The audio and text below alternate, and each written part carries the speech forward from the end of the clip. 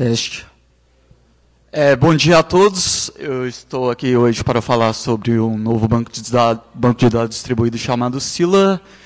É, gostaria de deixar bem claro que Sila é um banco de dados que ainda está em desenvolvimento, mas já está sendo, sendo usado em produção por algumas empresas como Samsung, Outbrain, uh, e ele é totalmente compatível com a Apache Cassandra. É, antes de aprofundar nesse, nesse, assunto, eu vou falar um pouco sobre quem eu sou. Eu sou o Rafael Santana Carvalho.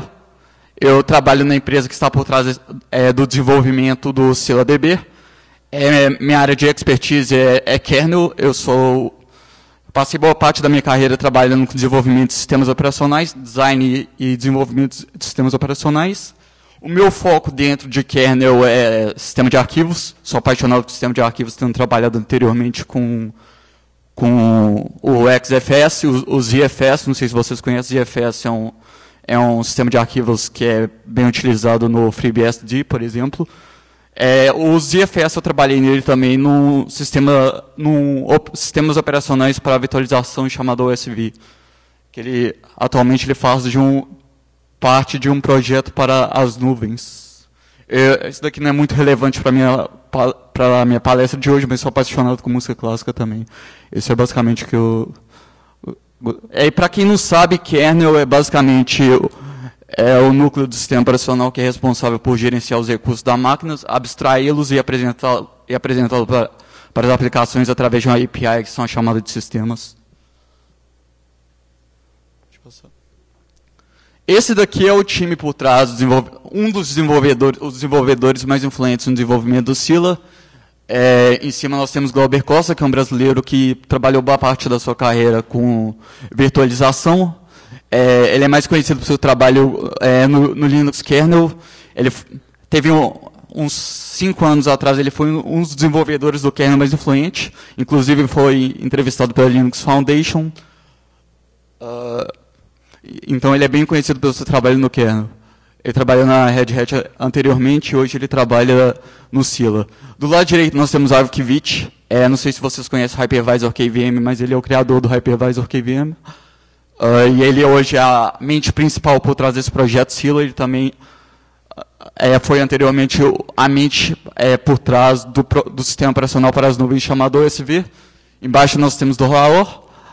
É, Dolaor é o manager, ele também esteve por trás do, da criação do hypervisor KVM.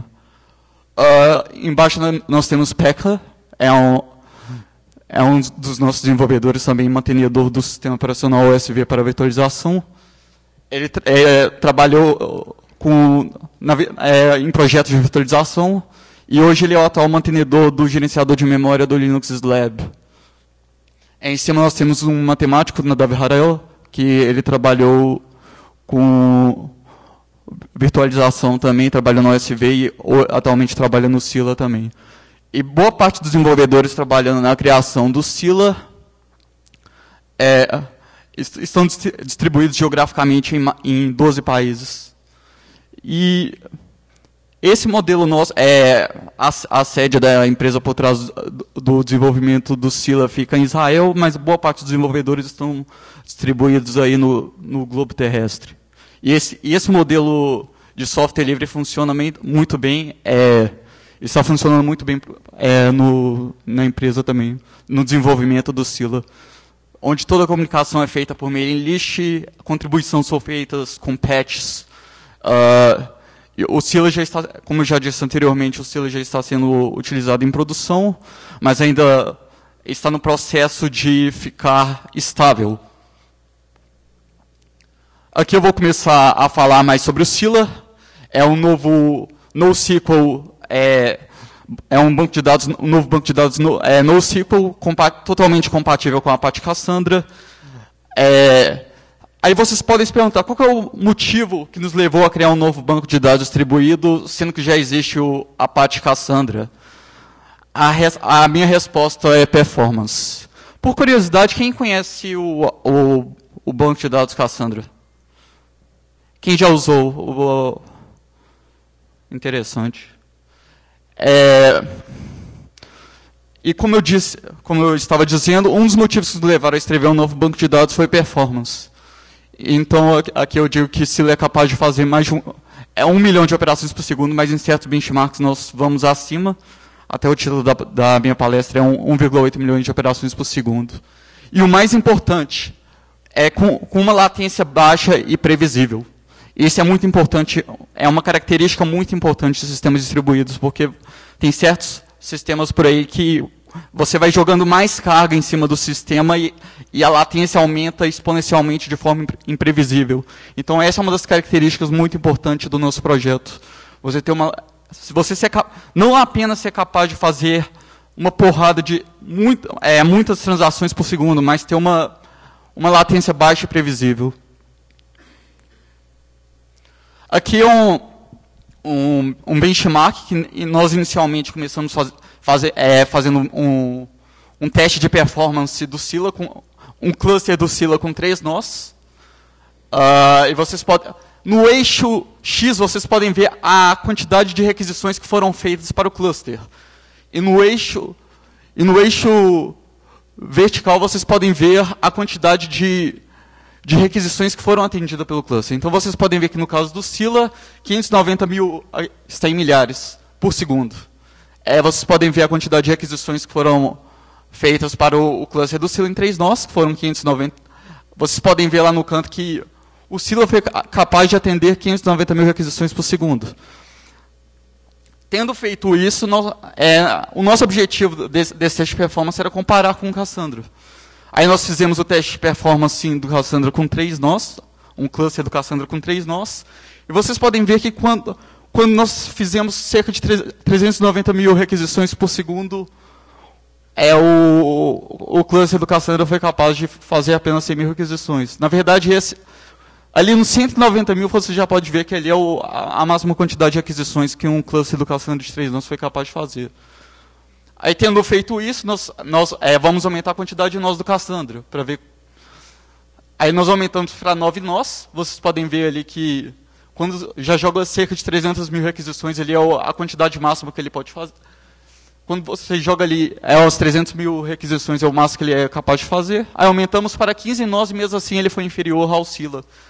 E bem interessante que o Sila com 3 nós conseguiu atender a mais aquisições que o Cassandra com 15 nós. Vocês podem ver ali que quando jogou, jogamos cerca de 450 mil requisições, isso a partir de clientes, é, a, o Cassandra foi capaz de atender ali cerca de 450 mil requisições. E todos os detalhes estão no, no site do SelaDB, para quem te, tem interesse. É, todos os detalhes do benchmark estão lá, então para quem tem interesse em reproduzir esses resultados, seja bem-vindo. Que é basicamente a, que é basicamente a agenda. Eu vou começar falando inicialmente um pouco sobre a parte Cassandra, para quem não conhece. Depois eu vou introduzir o Sila, falar da compatibilidade, como eu disse anteriormente, o projeto Sila é, é totalmente compatível com a parte Cassandra. Uh, e o motivo que nos levou a, a escrever Sila foi performance. Uh, vou falar um, rapidamente sobre o, sobre o projeto Apache Cassandra. Ele foi escrito no, face, no Facebook em 2006. Ele foi escrito usando a linguagem de programação Java. Ele, ele é, permite você configurar réplicas, basicamente a quantidade de... Por exemplo, você escreve em um, em um nó específico e esse nó, por sua vez, vai enviar réplicas do que foi escrito para outros nós. Isso é muito, uma característica muito importante em sistemas distribuídos que você precisa de, de tolerância a falhas e alta disponibilidade. Isso quer dizer que, por exemplo, se, o, se, o nó, se um nó específico tem algum problema, o mesmo dado vai estar disponível em outro nós. E isso é uma característica muito importante de sistemas distribuídos, ser tolerante a falhas. Uh, o Cassandra tem uma arquitetura simétrica, isso quer dizer que o cluster vai ser homogêneo, os, os nós vão atuar tanto como cliente quanto servidor, ou seja, você pode escrever para qualquer nó e ler de qualquer nó, se aquele nó, não, se aquele nó do, do cluster não tem o, o, dado que você quer, ele vai fazer requisição para um, um outro nó do cluster.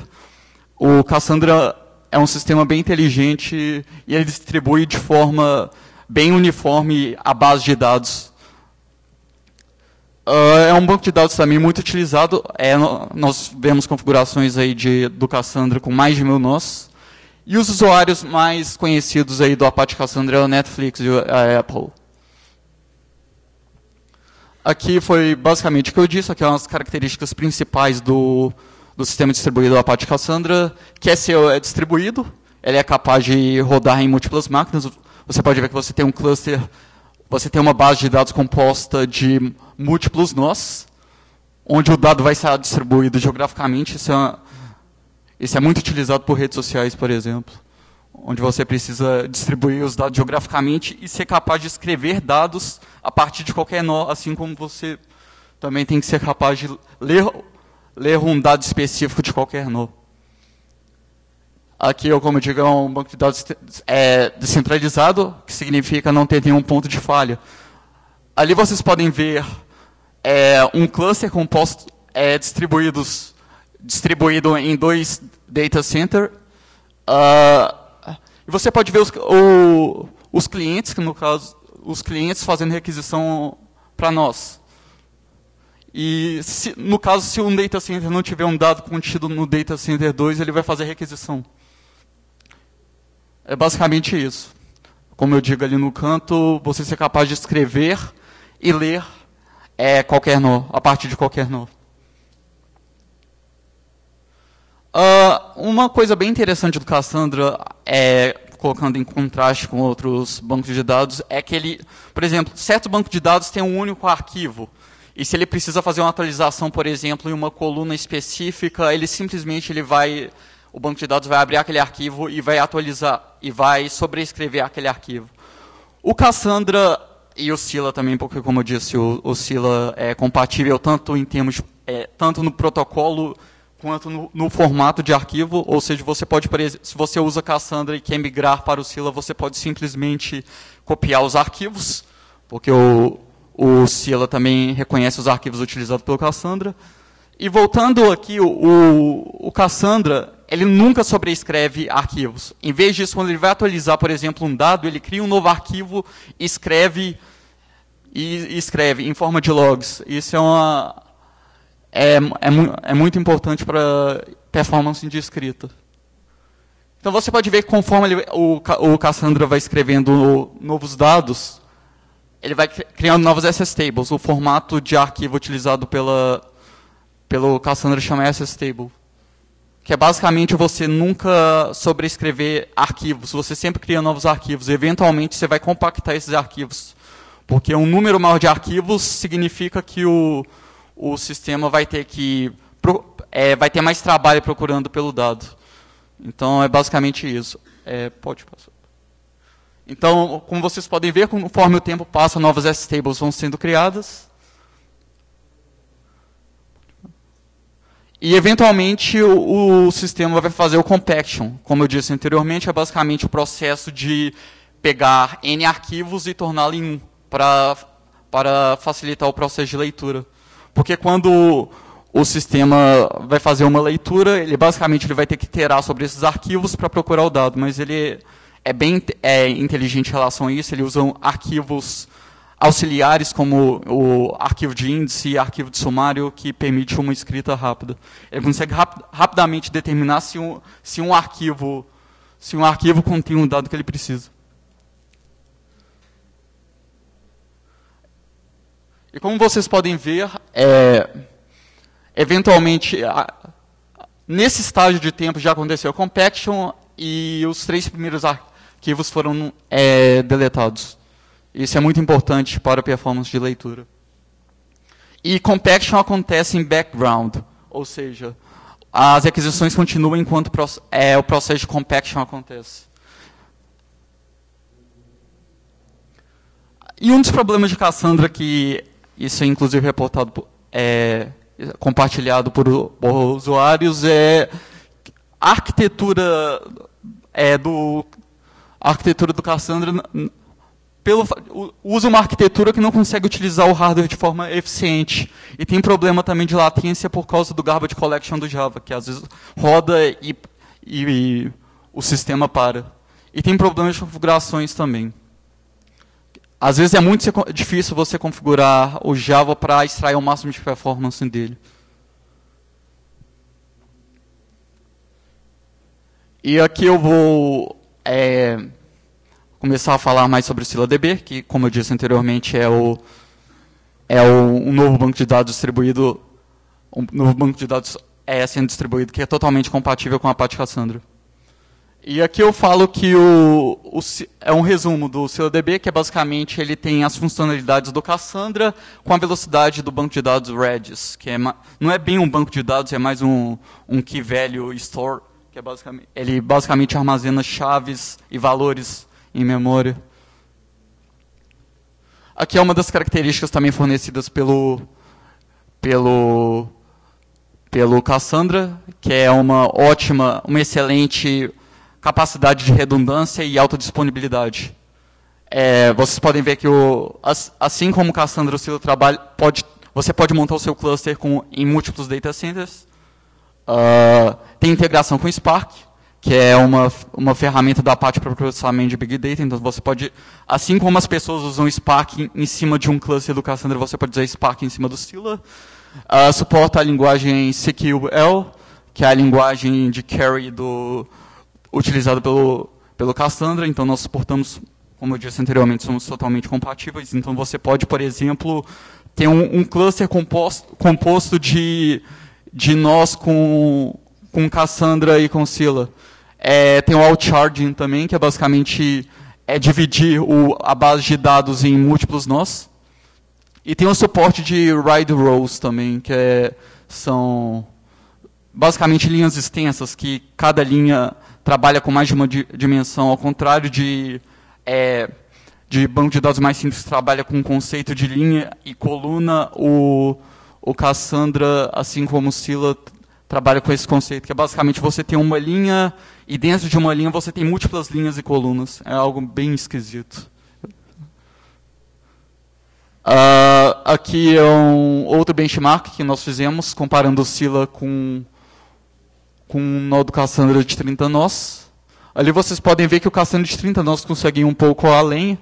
Ali quando fazemos, é, empurramos cerca de 600 mil requisições no Sila ali é o limite, o Cassandra vai um, um pouco além, mas vou mostrar posteriormente que o Sila com 3 nós consegue ter uma latência melhor do que o Cassandra com 30 nós. Aqui é a latência média de cada requisição. É, Para quem é, no, é muito familiar com performance, latência basicamente significa o tempo de resposta de uma requisição, o tempo que leva para você fazer uma requisição para o sistema e ele te responder. Uh, aqui nós podemos ver que o. Como eu estava falando anteriormente de, do Sila ter uma latência baixa e previsível. E como vocês podem ver os pontinhos, os pontinhos azul, o, o Sila te dá isso.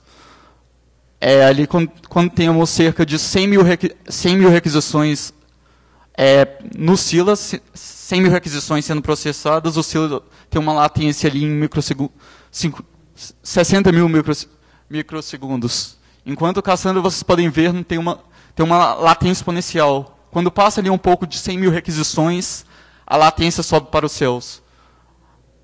Aí nós fizemos um, um teste, um, um teste, fomos aumentando a quantidade de nós do cluster do Cassandra, fizemos com 9 nós, já tem uma latência um pouco melhor, mas ainda imprevisível. Vocês podem ver quando cerca de 300 mil requisições são feitas para um cluster do Cassandra, a latência aumenta de forma imprevisível.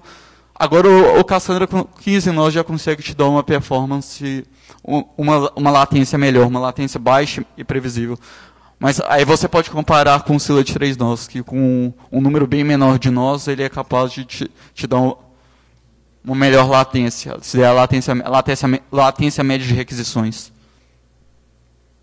É, aqui nós temos latência P99, é, para quem não é familiar com esse termo, significa o limite superior de 99% das requisições, ou seja, você pode esperar que 99% das requisições vão ser mais rápidas do que isso. Por exemplo, ali no Sila, quando faz 300 mil, 300 mil requisições, 300 mil requisições, você pode ver que ele tem uma latência, uma latência P99 de, de 5 mil, ali em torno de 5 mil microsegundos. Então você pode esperar que que 99% das 300 mil requisições vão ser mais rápidas que isso. Aí você pode fazer uma comparação com, com o Cassandra. Ali, por exemplo, o Cassandra de 15 nós, quando faz 300 mil requisições, tem uma latência P99 de quase, de quase 15 mil microsegundos. Então você pode esperar que é 99% das requisições ali no Cassandra de 15 nós vão ser mais rápidos que isso. Aqui a, a latência média. Aqui, como eu disse, o, o Cassandra com 30 nós foi capaz de ir um pouco além é, do que o Scylla com 3 nós. Entretanto, o Scylla com 3 nós ele tem um, uma latência menor. Você pode ver ali quando o Scylla está fazendo ali algo em torno de 300 mil operações por segundo, operações por segundo, ele tem uma latência ali quase três, três vezes melhor. Uh, o Cassandra de 30 nós está fazendo algo ali em torno de 1.100. Tem uma latência, é, uma latência média ali de 1.100 microsegundos. Aqui é um, um, outro gráfico que eu mostrei também. Aqui é, vocês podem ver, aqui ó, nós temos a performance do Scylla comparada com o do Cassandra, versão 2.1.9. Uh, que vocês podem, aqui nós temos três tipos de workload. Primeiro temos é, escrita, leitura e mixed. Mixed significa uma mistura de, de escrita e leitura. Então vocês podem ver o, o, o quando ele tem o Scylla quando é para escrita ele consegue alcançar algo em torno de quase 1.300, 1 milhão e 300 requisições. Enquanto Cassandra chega ali um pouco. Lembrando que o foco do Cassandra nunca foi performance. O foco do Cassandra sempre foi é, redundância e, e nenhum ponto de falha. Aqui nós temos latência. Nós já falamos bastante latência, mas aqui vocês conseguem ter uma, é, uma certa uma, a comparação do Sila com Cassandra. Temos rendimento também, que é a quantidade de requisições em um período de tempo, se eu não me engano, está em segundos, a quantidade de requisições por segundo. Ali vocês podem ver que o Cassandra faz algo ali em torno de 150 mil requisições, enquanto o Sila faz algo em torno de 250 mil requisições. Mas aí vocês podem comparar a latência também.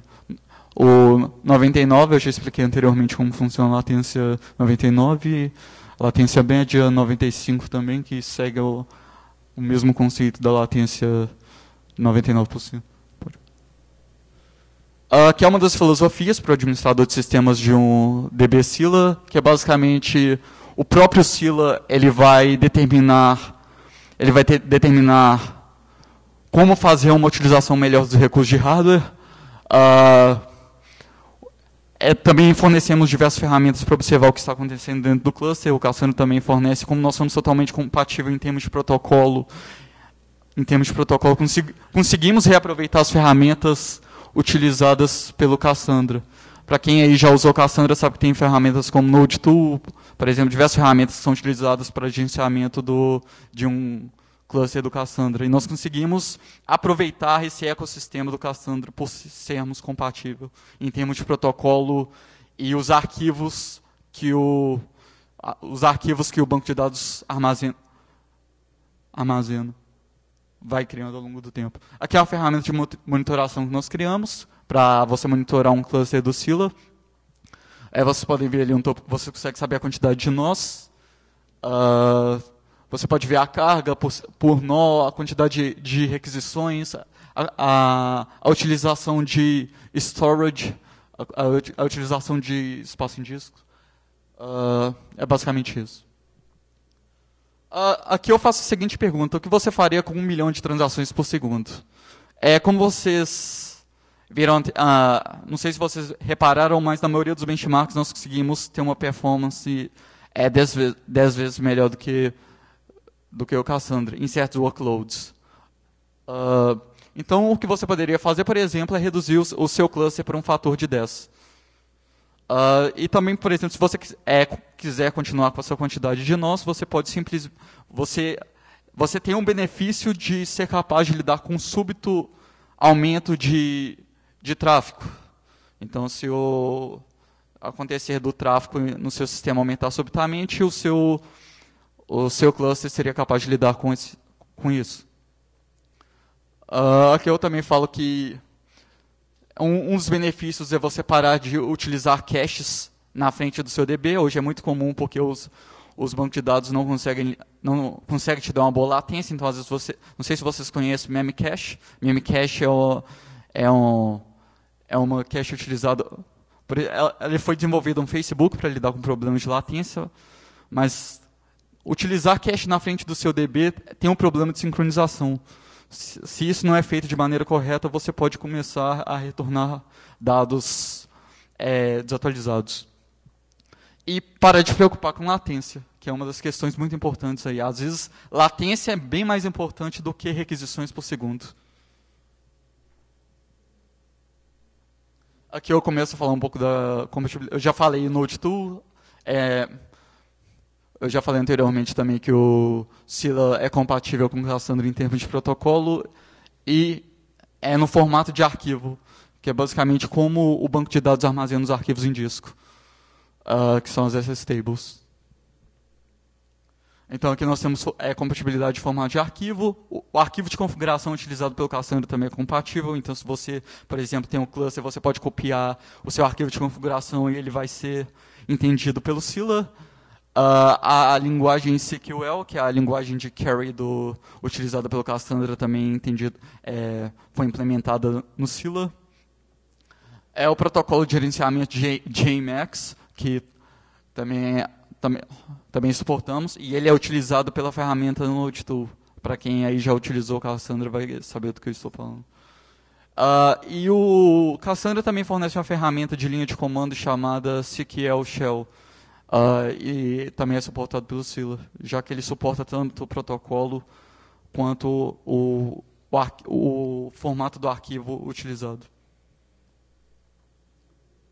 Aqui é basicamente o que eu já disse anteriormente. É, você pode trabalhar com o ecossistema do Cassandra. Tem, muito, tem muitas pessoas aí utilizando Spark em cima do Cassandra para processamento de, de Big Data. Então você poderia fazer isso com o Scylla, por exemplo.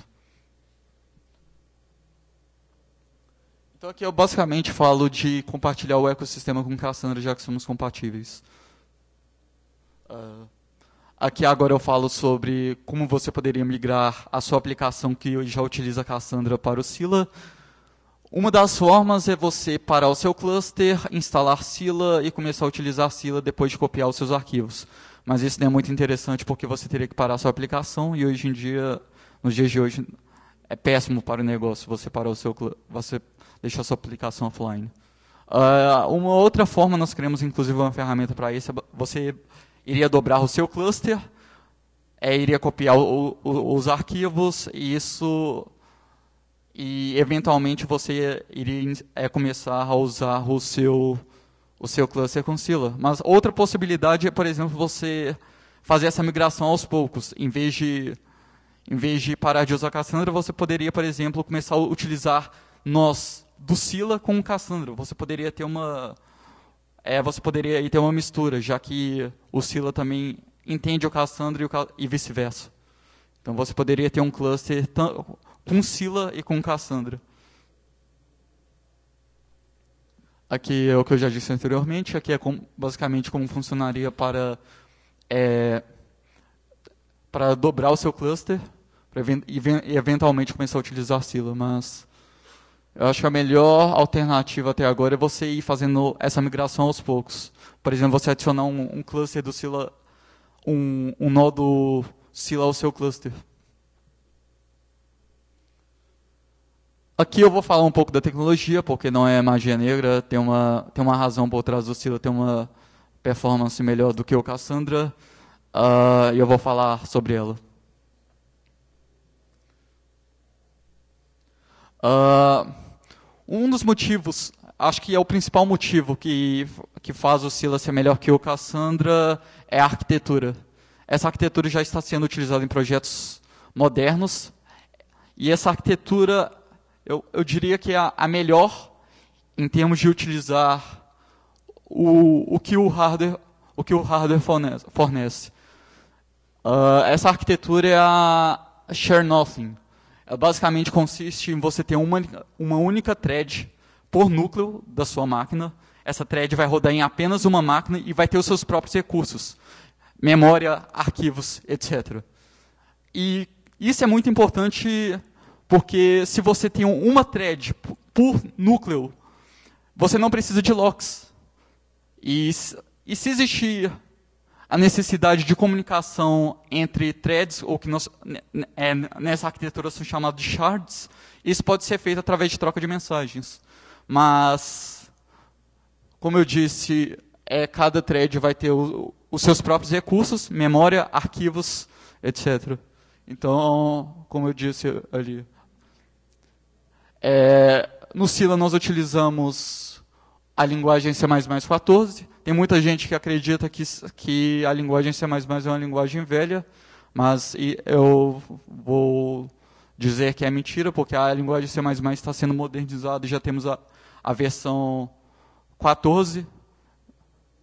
É uma linguagem que está sendo constantemente atualizada para lidar com os problemas de hoje em dia. C++ não parou no tempo, C++ está evoluindo. É, nós, utilizamos, nós utilizamos o framework C-Star, é ele que ele que dá para o Sila essa possibilidade dessa arquitetura share nothing, que eu já expliquei anteriormente, consiste em você ter uma única thread rodando em um único core, em um único núcleo do computador. Uh, e nós temos nossa própria cache. Nós não utilizamos a cache do Linux, para quem conhece a Page Cache, que trabalha com granularidade de 4.096 bytes.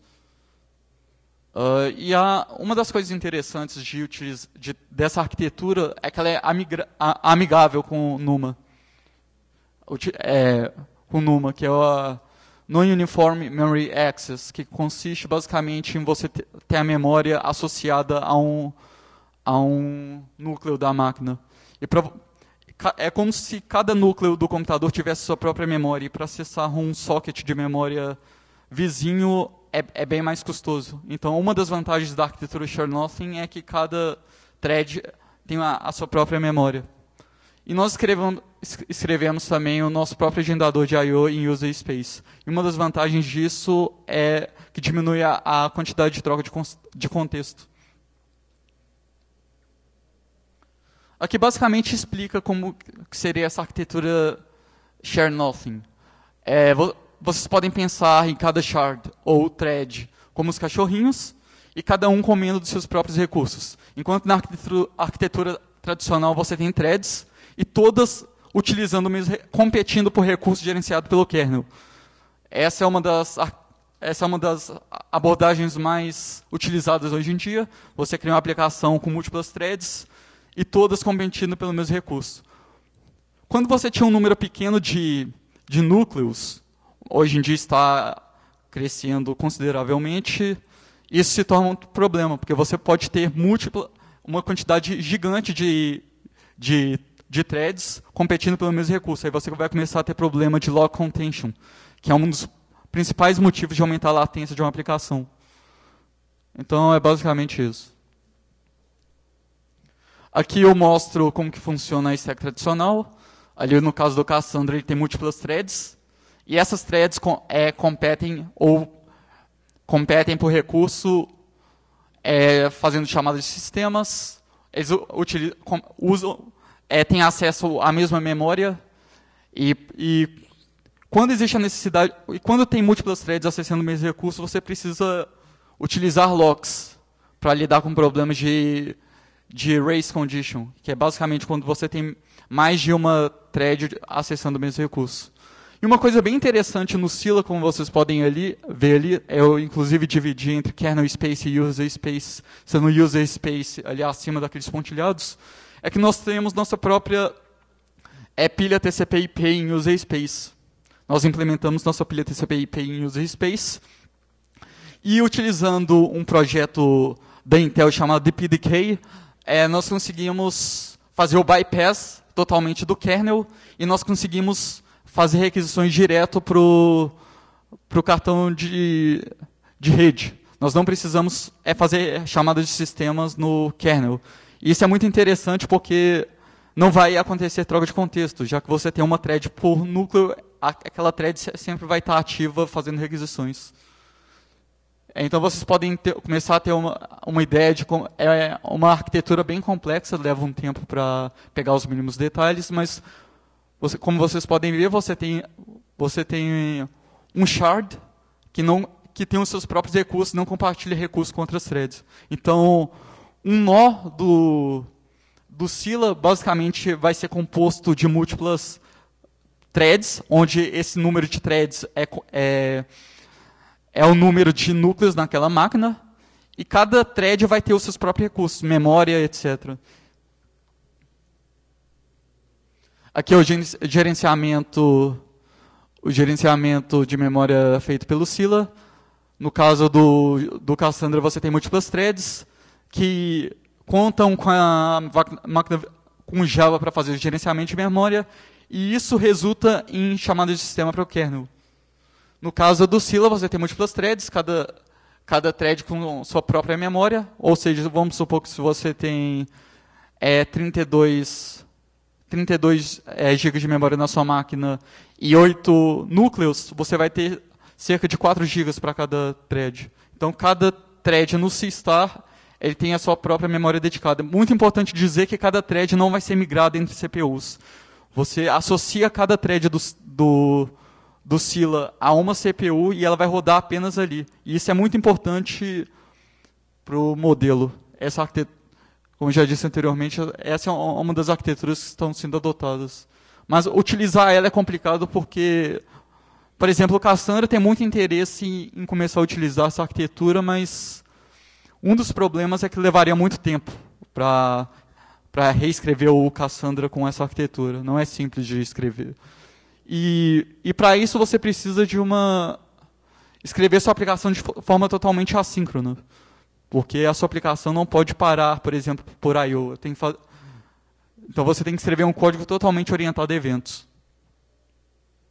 Aqui é um exemplo de código utilizando o C-Star. Isso daí é o C++14 mais o C-Star, que é um framework que usamos para escrever um código totalmente assíncrono.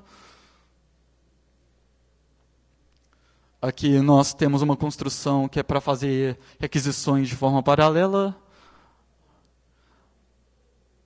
Aqui eu, eu, eu, eu vou falar um pouco sobre cache do Sila e do Cassandra. No caso do, Sila, nós temos uma cache unificada e nós fazemos o bypass da page cache do Linux.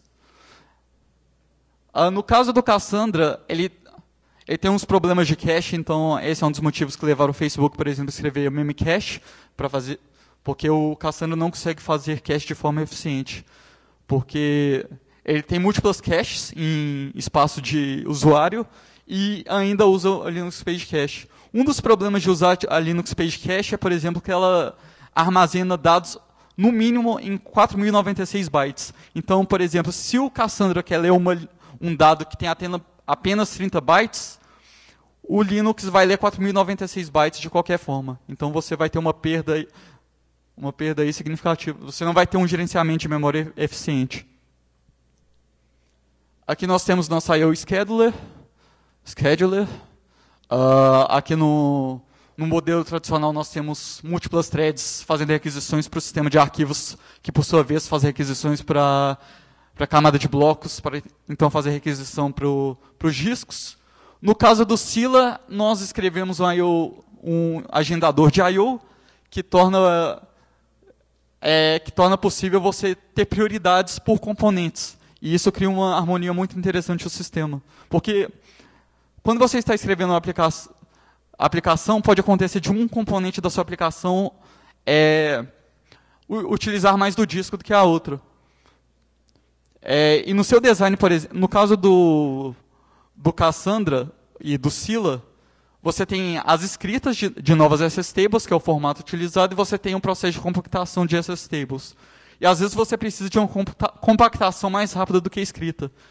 E isso não é possível sem um agendador de I/O, sem um agendador de I/O.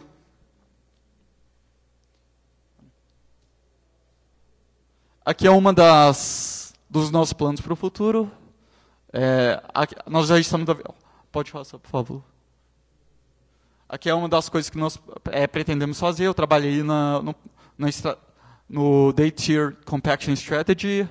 É para o mês de agosto nós planejamos suportar o, o protocolo Thrift. Não sei se vocês conhecem, aí para quem conhece de Cassandra. Isso daí é uns planos para o meio termo.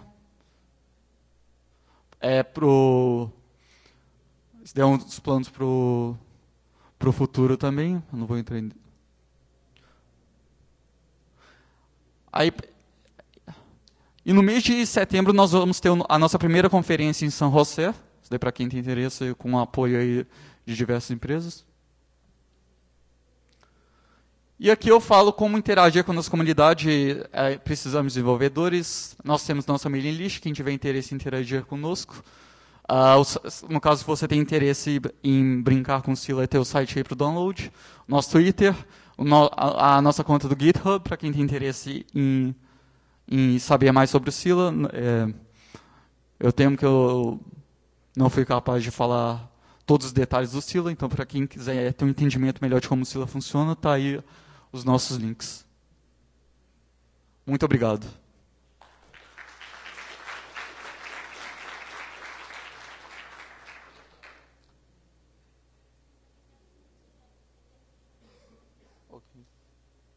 Alguém tem alguma pergunta? Sim.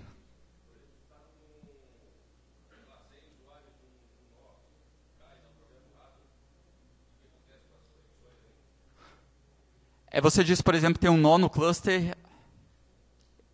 É, isso depende muito do replication factor, que é basicamente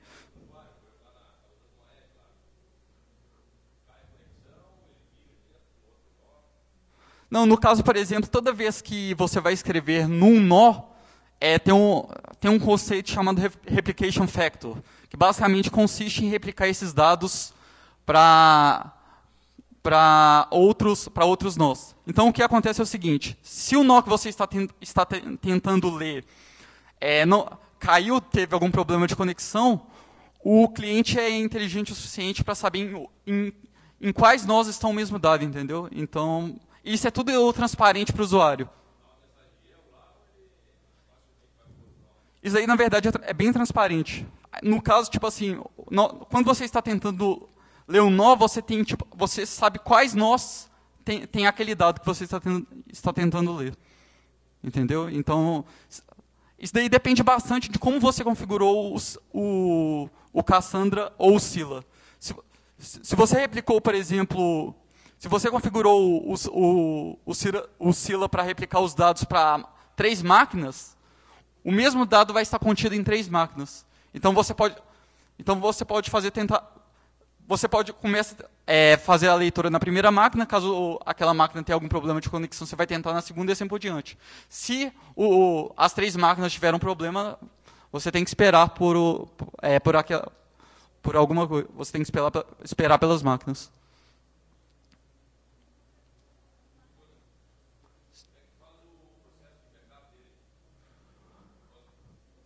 O Sila e o Cassandra têm uma configuração, você vai no arquivo de configuração e você e você pode é, é, tentar tanto o backup automático, que o próprio Sila ou Cassandra vai fazer o backup automático para você, ou você pode copiar as SS tables, que são os formatos é, onde os dados do seu banco de dados são armazenados. Não entendi. Isso, você pode fazer o backup online, já que os arquivos não são sobrescritos. É porque os arquivos não são modificados, novos arquivos vão sendo criados. Então, não tem problema de você copiar os arquivos enquanto o seu cluster está rodando.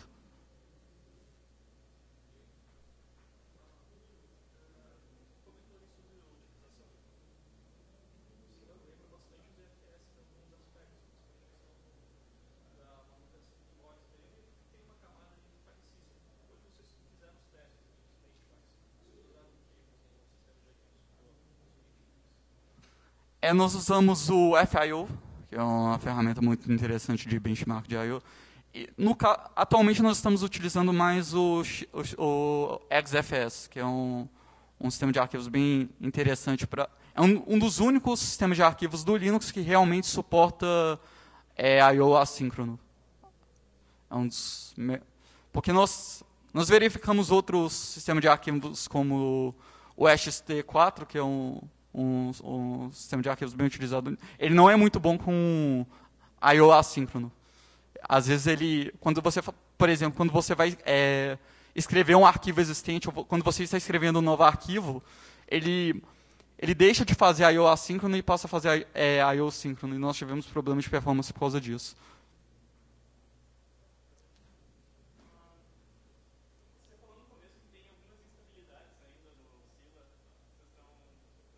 É, nós estamos trabalhando nelas ainda. É, nós temos algumas ferramentas, por exemplo, alguns, por exemplo, nós temos problemas ainda com compaction, que é basicamente o processo de compactar n arquivos em um. É, mas não, é, não são problemas de funcionalidade, são mais problemas de performance.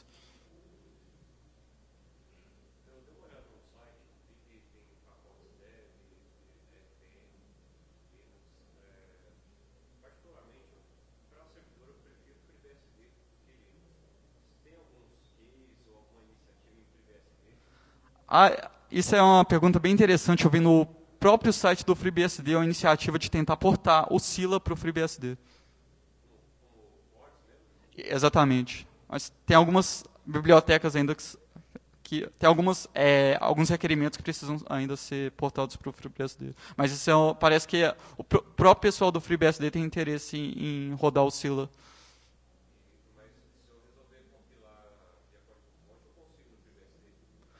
Mas tem algumas dependências na API do Linux, algumas APIs, algumas dependências na API do Linux que ainda, que ainda precisam ser Exatamente. Exatamente. Mais alguma pergunta? Obrigado, então.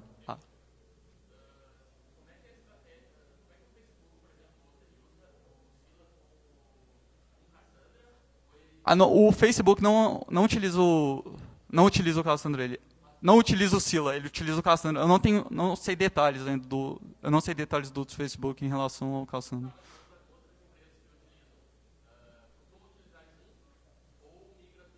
A Outbrain, por, por, por, exemplo, usa um cluster composto de Cassandra e Sila.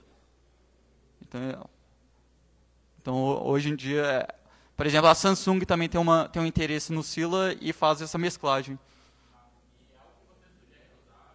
Exatamente. Isso é uma coisa que. Isso é uma iniciativa nossa. Nós falamos para não tentar migrar o seu cluster total. É, utilizar o Sila totalmente, mas ir migrando aos poucos.